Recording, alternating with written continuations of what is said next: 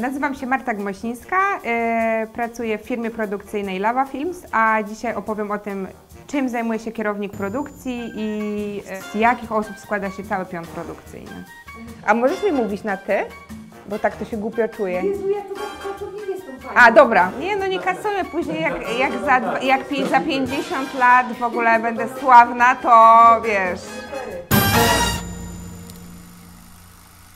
Kierownik produkcji to jest osoba, która y, też tak jak w sumie nazwa wskazuje, kieruje całą produkcją filmu i ona działa bezpośrednio na zlecenie producenta. Jego zadaniem jest tak naprawdę ym, głównie czuwanie nad budżetem i nad tym, żeby go nie przekroczyć, ale żeby też wszystko zrealizować zgodnie z założeniami artystycznymi, technicznymi Ym, i żeby zrealizować to wszystko ma swój cały pion. I to jest drugi kierownik produkcji, który z nim pracuje, zwany też koordynatorem. E, kierownik produkcji do spraw lokacji, dalej jest jeszcze administrator, kierownik planu i sekretarka planu. Producent to jest osoba, która jest która inicjuje cały proces, która też zazwyczaj działa już na etapie prac literackich, rozwoju scenariusza, ale później jakby gromadzi wokół siebie głównych, głównych twórców, gromadzi finansowanie, czyli całe jakby pieniądze, które później, na, na, które później kierownik produkcji może rozdysponować. I producent jest osobą, która pozyskuje prawa.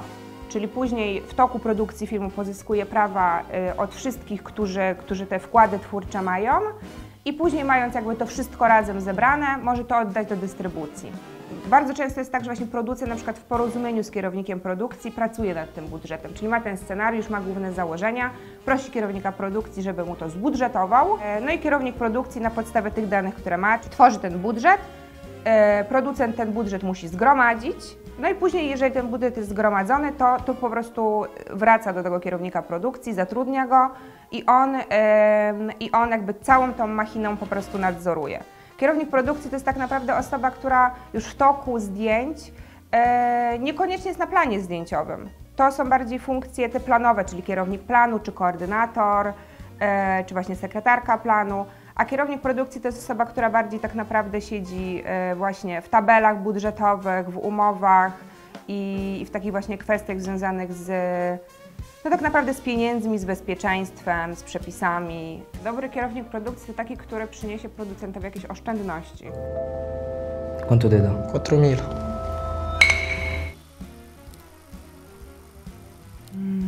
Moim zdaniem trzeba być kierownik, kreatywnym kierownikiem produkcji, ale ja uważam, że generalnie trzeba być kreatywnym w tym, co się robi.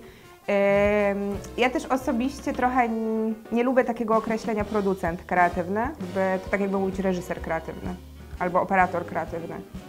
Producent kreuje jakby film e, pod wieloma względami. E, I, I wydaje mi się, że to jakby takie dopowiedzenie jest takie trochę sztuczne i właśnie wynika z tego, że, no, że ta praca producenta często jest niewidoczna i dlatego po prostu jest takie, y, taki odbiór, mam wrażenie, ogólnie. Ale jeśli chodzi o kierownika produkcji, to myślę, że bardzo ważne jest y, zrozumienie mm, założeń twórczych, zrozumienie też priorytetów i bycie dzięki temu w dobrej komunikacji z reżyserem, z operatorem, czyli żeby tak znaleźć rozwiązanie, które jednocześnie e, pozwala mu to zrobić y, według limitów i tych założeń i ograniczeń, które ma, ale jednocześnie tak, żeby e, to, to mm, ten cel twórczy i to właśnie ta wizja twórcza, jakkolwiek gdzieś tam może ograniczona, ale żeby ona była zrealizowana. Mm, To, to znaczy, wydaje mi się, że ścieżek jest wiele i tak naprawdę tyle, ile ludzi, tyle jest ścieżek. Ja jestem akurat przypadkiem osoby, która studiowała w szkole filmowej na Wydziale Produkcji i później, yy, no można powiedzieć, że pracuje w zawodzie. Gdzieś w okolicy drugiego, trzeciego roku, e, robiąc już jakieś rzeczy w szkole jako kierownik produkcji, ja osobiście zorientowałam się, że mnie bardziej interesuje kariera e, i droga, ścieżka producenta. Jest też bardzo dużo ludzi w branży bardzo dobrych, którzy nie byli w szkole filmowej i którzy po prostu zaczęły pracować na planach czy reklam, czy teledysków, czy filmów. Y, Uważam, że też tego zawodu można spokojnie się nauczyć w praktyce. To jest, oczywiście jest jakby jakaś część wiedzy, którą trzeba posiadać i umiejętności, ale to jest, mam wrażenie, taki bardzo gdzieś tam też praktyczny zawód, który, którego spokojnie można się nauczyć po prostu pracując i, i, i, i, i idąc gdzieś tam po prostu od asystenta do, e, nie wiem, do koordynatora, drugiego kierownika produkcji, później do kierownika produkcji.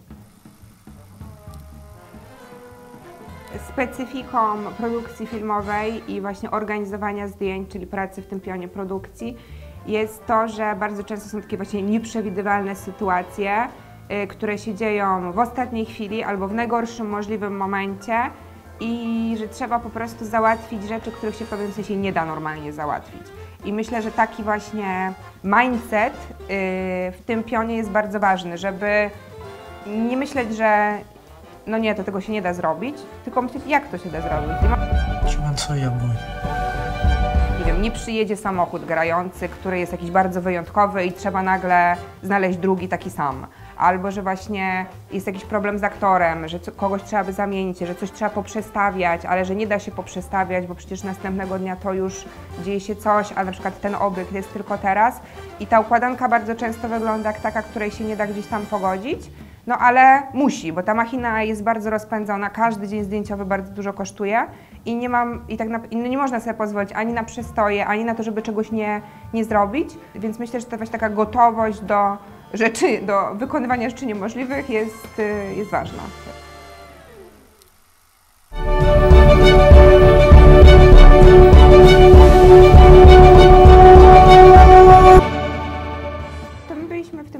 Właśnie producentem mniejszościowym i czy polskim wkładem, czyli naszym wkładem jako producenta było, było właśnie zaangażowanie polskiej aktorki, która grała jedną z dwóch głównych ról, Sandrę Drzymalską. Cała postprodukcja dźwięku i też muzyka y, była robiona w Polsce. Muzyka była skomponowana przez Toniki Rożynek. I faktycznie w tym projekcie y, gdzieś tam byłyśmy bardzo wcześnie, bo ja już y, organizowałam takie właśnie pierwsze castingi, z których została wyłoniona Sandra. E, No więc tak by gdzieś tam był początek, później trzeba ją właśnie było e, tego włoskiego nauczyć, więc tutaj też gdzieś na przykład moim zadaniem była koordynacja tego. E, No i później wysłanie jej na zdjęcia. Wysłanie jej na zdjęcia i gdzieś tam czuwanie nad tym, żeby wszystko, żeby wszystko e, było w porządku. A później już w toku postprodukcji, no to całe, całe koordynowanie postprodukcji.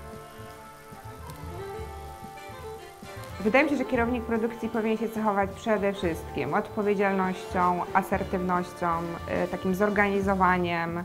em, Dobrze powinien się komunikować, czyli też powinien słuchać innych, nie tylko y, w jedną stronę, ale też, żeby właśnie być otwartym na te potrzeby y, właśnie swojej ekipy i wszystkich twórców. No i też jakieś takie właśnie twarde stąpanie po ziemi, żeby nie dać sobie w kaszę dmuchać, że tak powiem. No.